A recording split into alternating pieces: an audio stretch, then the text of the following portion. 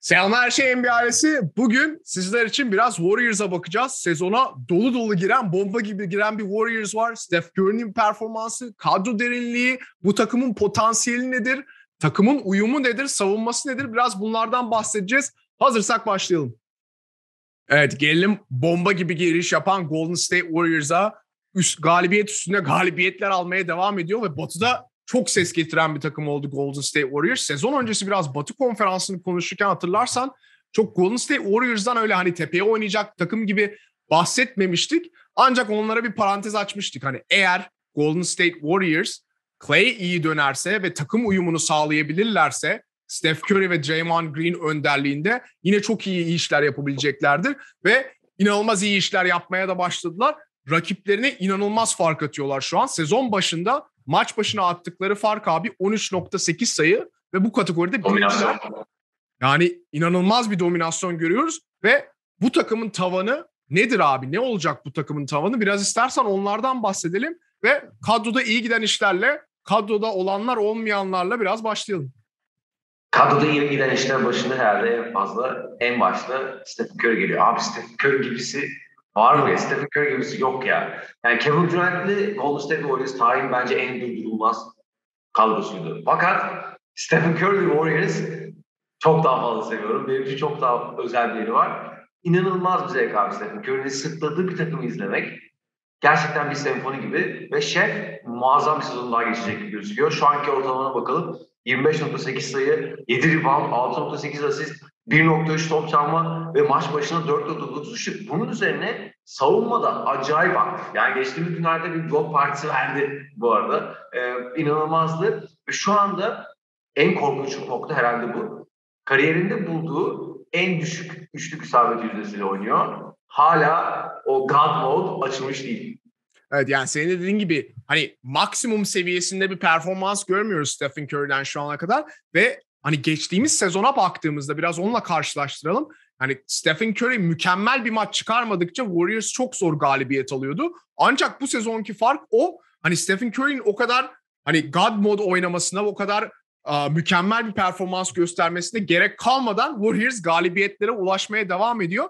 Peki bunun biraz da sebebi neden? Bence bunun en önemli sebeplerinden biri hem kadro derinliği hem de kadroya uygun oyuncu almaları. Daha basketbol IQ'su daha yüksek oyuncu olan aldılar. Hani çünkü takıma uyması için hem Steph Curry hem Draymond Green parçalarına uyması için daha IQ'su yüksek oyuncular aldılar. Kimler mesela? Tabii ki de Iguodala bu sistemi bilen basketbol IQ'su en yüksek oyunculardan biri. Bielica'yı görüyoruz. Hatta istersen oraya Otto Porter'ı da ekleyebiliriz. Uzun zamandır Hadi, Hadi onu da koyalım oraya basketbol IQ'su köşesine.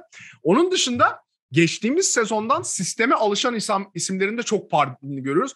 Özellikle Jordan Poole gerçekten çok önemli bir performans gösteriyor. Hani Clay Thompson'ın yokluğunda o Clay Thompson rolünde oynuyor. O skorerliği gösteriyor. Sadece Üçüncü Splash Brothers. Ha? Üçüncü Splash Brothers, kesinlikle yani. 28 dakikada 18 sayı buluyor şu anda. Onun dışında yine geçtiğimiz sezondan kalan oyuncular hani geçtiğimiz sezonun sonunda çok fazla süren oyuncular. Toscano Anderson'ı görüyorsun rotasyonda iyi forma giyiyor. Warriors sistemine oturmuş. Damian Lee yine aynı şekilde Warriors tecrübesi almış isimler. Yani baktığında 10 oyuncuyu rahat rahat rotasyonunda çok iyi bir şekilde kullanabiliyor Steve Kerr. Bunların yanında daha kullanmaya başlamadıkları bile Aynen abi. 7. sıradan aldıkları Kuminga var. 14'ten çektikleri Moody var. 14'e düşmesi Tabii draft zamanında da bunu çok konuşmuştuk. Moody'nin 14'e düşmesi Warriors için çok büyük bir şans diye. Ancak onlar 3-5 dakika süre bile alamıyor. Çünkü Warriors o kadar iyi başladı. O kadar mükemmel başladı. Ve yani şu bence çıkarılması gereken önemli ders. Hani günümüz basketbolunda bu biraz çok nadir görüyoruz. Takımların bu kadar çekirdeğinin bu kadar birleşik kalmasını uzun süreler boyunca. Yani bu kadronun başarısının en önemli sebebi en büyük yapı taşlarının bu takımla seneler boyunca beraber oynaması ve Warriors sisteminin oturması o oyuncular etrafında ve diğer yan parçalara baktığında da bu sisteme uygun parçaları buldukça sistem işlemeye devam ediyor ve bu sistemin içinden işleyen oyuncuların parlamasını da görüyoruz. Sistem işlemeye devam ediyor diyoruz. İnanılmaz bir istatistik. Warriors'ın şu ana kadar erken sezon tabii ki de bulduğu basketlerin %72'si abi. %72'si asist üstünden gerçekten çılgınlık. Açık ara birinci bu kategoride. Yani onları izlemek, Warriors izlemek gerçekten büyük bir keyif. Ve bunun üzerine biraz daha durmamız lazım. Yani bu takım anlayışı üzerine biraz daha durmamız lazım. Senin de bahsettiğin gibi basketbol IQ'su yüksek oyuncular olması, çekirdeğin bir arada kalması ve bir kültür olması Golden State Warriors, Golden State Warriors yapan en önemli faktörlerden bir tanesi. Stephen Curry'e geçtiğimiz günlerde takımın müthiş başlangıcıyla ilgili bir soru sordu. Hani nedir seni şaşırttı mı, neler hissediyorsun falan filan dendi. Stephen Curry çok net bir cevap verdi. Yani bu takımda basketbolu bilen ve basketbolu anlayan oyuncular var dedi. Biz her zaman doğru olanı yapmaya çalışıyoruz. Her, her zaman yapamıyor olabiliriz ama her zaman doğru olanı yapmaya çalışıyoruz ve doğru şutları yaratmaya çalışıyoruz dedi. Bu nedenle bu başlangıç bana hiçbir şaşırtıcı gelmedi ve aslında bütün bahsettiğimiz şeylerden çok iyi özetleyen bir e, quote bu. Warriors basketbolu özünde bundan ibaret. Yani doğru basketbol, o basketbol IQ'su yüksek kültür ve şu anda o Warriors'ı tekrar görmek, o senin de bahsettiğin gibi yan parçaların tekrar efektif olması gerçekten izlemesi müthiş keyif. Ve yani bunu da mükemmel yapan bir başka faktör de kesinlikle savunmaları. Yani inanılmaz bir savunma oynuyorlar şu ana kadar. Hani Lakers bölümünde biraz bahsettik. Ne kadar felaket bir savunma yaptığını, nereden nereye geldiğini. Warriors bakı cephesine bakıyorsun. Tam tersi gerçekten. Savunma reytinginde sezonun başında açık ara birinciler. Maç başına en çok rebound çeken takım ve rakiplerine en az ikinci sayı şansı tanıyan takım şu anda. Ve Miami'den sonra rakiplerini de en düşük şut yüzdesinde tutuyorlar. %41.3 ile. Üçlükten ise sadece %29.5'a izin veriyorlar. Bu da çok önemli.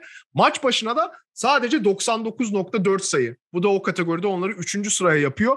Gerçekten yani savunma o kadar önemli ki şu an onlar için. Draymond Green'in açıklamalarını da gördük geçtiğimiz günlerde. Yani takım için o kadar önemli ki savunma. Her maç takımın en iyi savunmacısı ödülü veriyorlar.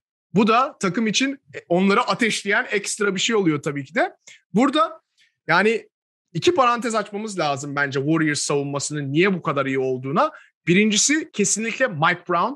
Yani savunma koordinatörü diyeceğimiz rolü üstlendi şu an savunmada. Mike Brown ne kadar önemli bir koç olduğunu da biliyoruz. Warriors uh, takımında bu rolü üstlendi. Çok iyi işler yapıyor. Bir ikincisi de yine geçtiğimiz sezon biraz Warriors forması giren, Warriors uh, kültüründen biraz gelen diyeyim sezon sonunda Gary Payton Jr. Ve Gary Payton Jr.'ın savunmada ne kadar iyi işler yaptığını görüyoruz kenardan gelip. Ve Warriors'ın da burada onları da kutlamamız lazım. Çünkü ne oldu abi hatırlarsak kadro 15'e inerken 15. isim ya Gary Payton Jr. olacaktı ya Gary Payton second olacaktı ya da Avery Bradley olacaktı. Ve Warriors burada Gary Payton'dan uh, kullandı şansını Avery Bradley'i tutmaktansa ve bunun ne kadar önemli olduğunu, ne kadar önemli katkı veren bir rotasyon ismi olduğunu da sezonun başlarında görüyoruz. Gary Payton'ın acayip posterleri de var bu arada. Hem poster yani çok atletik, savunması mükemmel. Gerçekten uh, önemli bir isim olacak ligde. Biraz potansiyelden bahsedelim istersen son bölümde Barın'ı. Burada dört gözle beklediğimiz, yani biz basketbol sahileri olarak dört gözle bekliyoruz. Golden State Warriors ayrı bir e, takım kimyası içinde bekliyor. Bir Clay Thompson gerçeği var.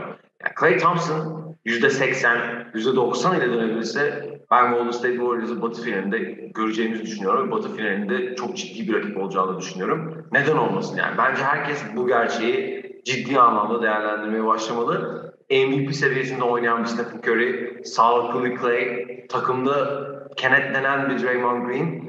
Onun dışında senin de bahsettiğin basketbol IQ'su yüksek Jordan Poole, Iguodala, Bielisa ve henüz daha ateşlenmemiş çaylaklar Golden State Warriors gümbür gümbür geliyor. Evet ve yani şunu da düşünmemiz lazım.